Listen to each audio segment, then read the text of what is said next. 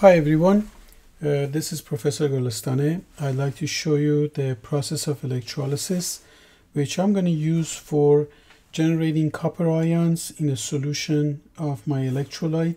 The electrolyte is magnesium sulfate 1 molar concentration and uh, I'm going to pour in uh, 130 milliliters of electrolyte into this cup and I'm going to use 10 ml later for washing the electrodes.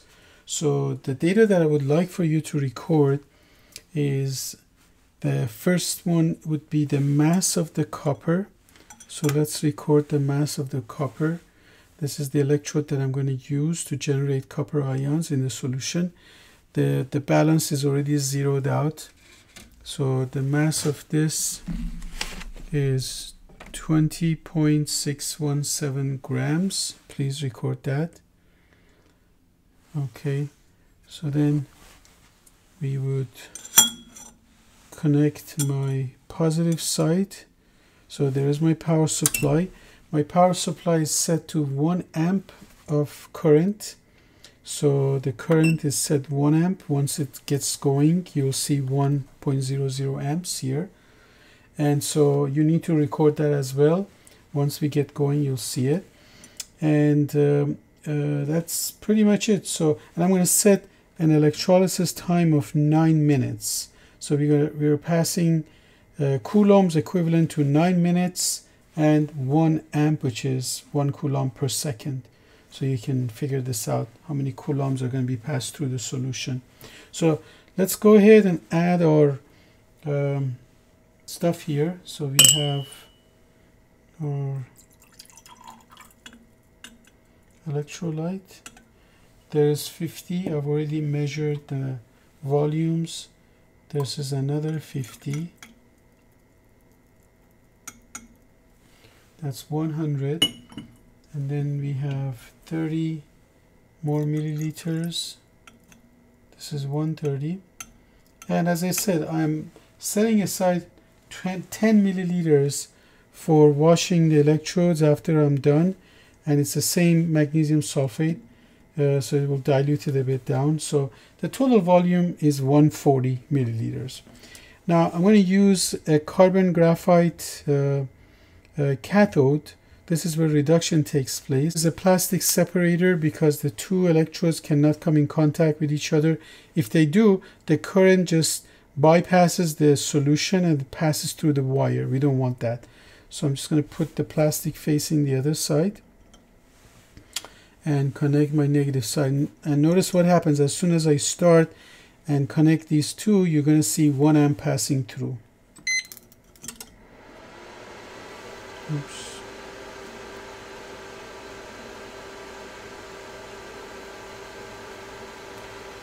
So there is bubbling taking place on our cathode. That's what we expected. And then the anode is gradually turning the solution into a copper ion solution. So copper ions are sort of like shedding off from the anode. Copper is more dense, so it tends to sink down to the bottom of my beaker, and I'll show you. And uh, the bubbles of hydrogen are released from the other side. So let's take a look and see what we got. So now you can see very clearly what's happening here. So there is my. So the electrode to your right is the cathode bubbles and you can see that on the surface of copper you can actually see on this copper yellowish uh, metal on the left.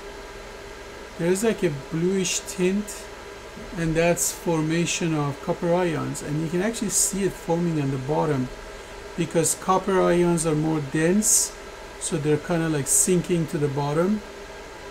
So this is very clear view of what's happening.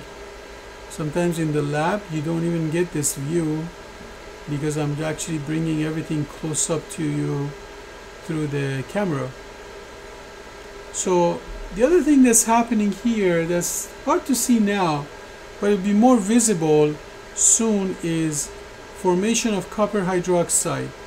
So you're going to see that as the solution forms becomes more basic because our cathode is putting out hydroxide ions, the copper metal that turns into copper ion, it causes the copper ion to have a higher concentration to the point that it would produce copper hydroxide.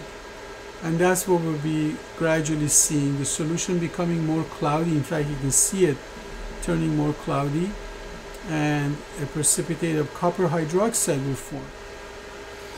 So I will be adding sulfuric acid just to make sure that there is no um, uh, copper hydroxide once I get done with this solution. So this is going to go on for 9 minutes to make sure we have the necessary copper ion concentration in this solution. And uh, I would also be asking you to calculate the molarity of the solution. That's why it's important to know the volume of this. So record that you have 140 it's actually 140.0 because of these graduated cylinders precision. I can, I can get down to a tenth of a milliliter. So when I get done with this it'll be 140.0 milliliter of solution. And I'm going to reweigh the copper after the 9 minutes. And you'll see how much copper loss we have but we can actually more precisely calculate it based on the coulombs that we're passing through the solution. And the coulombs are related to the amperage which is 1.00 in 4 sig fig. And our time is very good precision in at least 3 sig fig of precision. I'm going to get my time in seconds.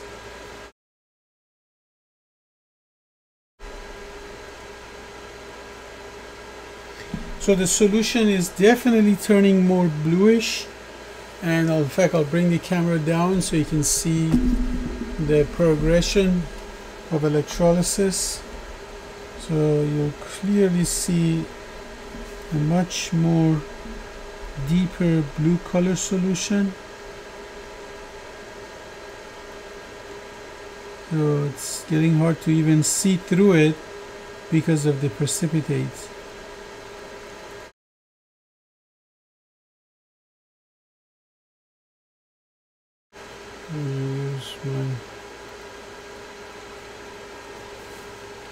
we'll stop this. All right nine minutes exactly. And now I'm going to remove these wires from the electrodes. And as I said I'm going to wash these electrodes into the container. So let's go ahead and wash off our carbon first. I have this electrolyte here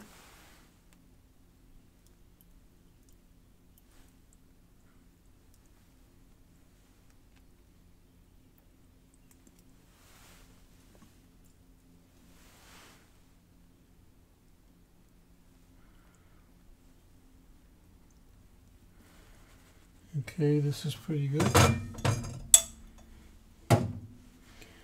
And I'm going to do the same with the copper.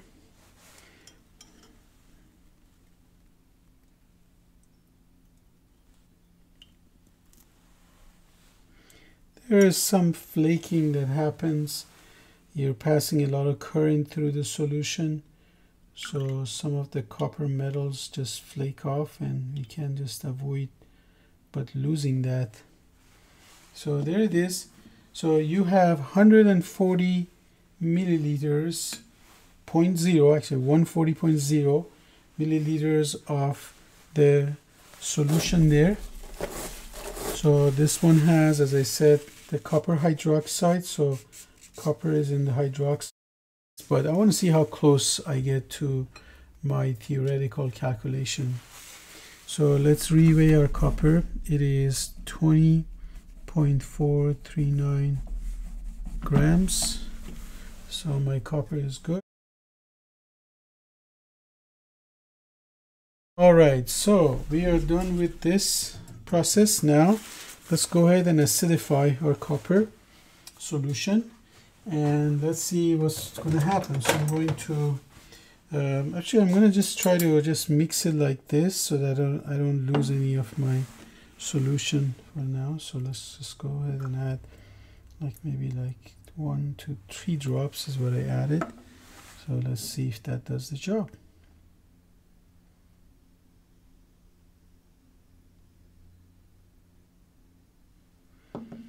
I am going to mix it because this is not, it needs a little bit of help with mixing.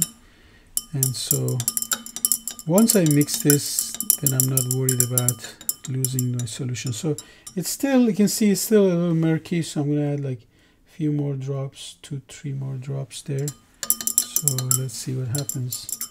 There you go. See what happened. Copper hydroxide dissolved in the presence of acid. There's probably not a whole lot of excess, excess acid, just a little bit. And you have your clear solution of copper ions. So anyway, we have our solution now. So we can now do the rest of the experiment, which, which I will show you in the other videos. Okay, that's it.